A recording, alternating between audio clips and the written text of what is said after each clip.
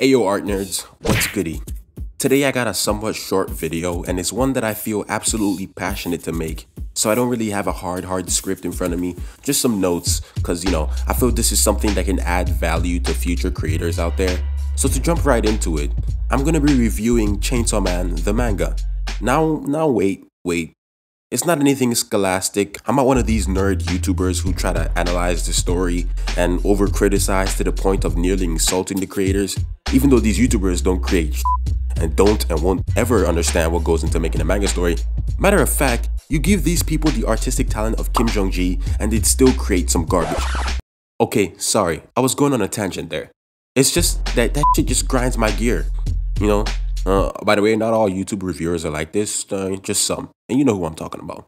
Anyways, back to my point about this video. So yeah, basically what I want to do is review Chainsaw Man in a unique way. A way that I haven't really seen before on YouTube. And it's a review of Chainsaw Man for artists, by a manga artist. We're going to be looking at what Tatsuki Fujimoto, author of Chainsaw Man, did artistically and the choices he made when depicting the story and the world of Chainsaw Man. And what we, as aspiring artists and comic slash manga creators can learn and implement. And to make all this information easier to swallow, we'll break it down into categories.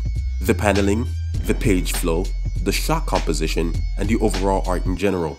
So let's get right into it. First, let's talk paneling. As I was reading Chainsaw Man, I was not only enjoying it, but I was also actively reading, meaning I was analyzing everything I looked at and one thing I noticed about the paneling is Tatsuki Fujimoto, similar to Junji Ito, does a lot of build up, as in per page. Fujimoto would set up the panels and the stories within those panels in a way where at the turn of the page there was a significant reveal or a joke or a twist. Another thing that I noticed about the paneling is Fujimoto was not afraid of not only squeezing the number of panels per page to add tension or using a whole page to add scale. On this point of scale, what we can learn is Fujimoto does not give a grandma's cookie dough what? about his page limitations. At least I don't think so. He will use as many pages as possible to convey whatever. Like he can use 10 pages alone to convey action or more.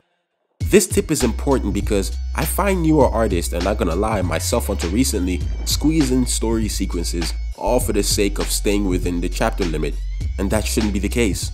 Which is another thing we should take away when reading Chainsaw Man. It's artistically free and expressive. The operative word here is non-constrained by rules or tropes. Next, moving from paneling, let's talk about page flow. So Fujimoto isn't too complicated with his page flow, and that's the thing. That's what we need to learn from him. You don't need to be. So long as there's no confusion in which panel is read next, you'll be fine. Fujimoto's page flow is more so done with the bubble placement than with the art itself. A wrong or misleading tip I see some people giving others is you need to create page flow with the artwork itself. And to be honest, for newer artists, that's just complicated and a lot to juggle, especially for a beginner. Um, I know it was for me, and honestly, you don't really need to do all that so long as your story is easy to follow and your readers are not confused on what panel is next. Shot composition. So I think this one is what's so integral about Chainsaw Man, especially in terms of hitting its emotional strides and making the audience feel something. Basically, if you go back and read Chainsaw Man, when there isn't balls to the walls action going on, most of the time the shot compositions are, are often close-ups of characters' faces from varying angles as they either subtly, mildly, or intensely express emotions in a convincing and when it needs to be, entertaining way.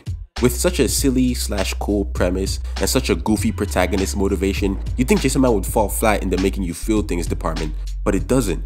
Fujimoto loves telling stories through the expressions on his characters' faces, you know, like feeling Aki's pain through the look on his face, or silently chuckling just from looking at Power's subtly goofy grin, or feeling uneasiness from Makima's deceptive smile.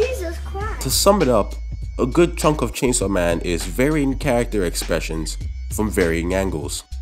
Finally, for the overall art of Chainsaw Man in general, all I have to say is simplistically brilliant. Not to say the art in Chainsaw Man is simple, in fact, you know, it's awesome and can be very detailed at times. What I mean is, Fujimoto shows you what needs to be seen, nothing more, nothing less. It doesn't seem like his number one goal is to create a really cool visual illustration, at least I don't think so. I just think that happens, just naturally, from him telling the story. In contrast to One Punch Man that wants to draw you in with the amazing art, then its hilariously funny story and premise, Chainsaw Man tells you its story, and the art is an amazing complement to it. This is important because new artists often conflate good manga with god tier art, which is not the case at all. Tell your story first. And boom, that's the video. Chainsaw Man review 4 artists by an artist. A few more non-art or visual things I want to say about Chainsaw Man that I find would be useful for aspiring creators that I wish someone had told me was number one, your protagonist doesn't have to be overly complicated. Like Denji is simple in his goals and wants. What makes him enjoyable is watching him get to enjoy and react to the little things in life. Number two, it's okay, and a matter of fact, it's very welcome to be different, to be unique. It seems some people believe there's a formula for making shonen manga or manga in general, and there isn't. You can just throw everything you think is a hard rule out the window. Chainsaw Man has an absolutely batshit crazy premise, and the manga is unbelievably brutal. And it's fine. It's still a shonen. It doesn't have to be a cringy, I want to become the greatest, insert title here shonen. It's always a breath of fresh air to experience unique stories. Thank you all for watching this video. Make sure to hit the like button, hit the notification bell for more videos, and don't forget to absolutely decimate the subscribe button as well. Let me know what manga to read and analyze next in the comment section. I make sure to read and respond to every and all comments. Till next time, art nerds, deuces.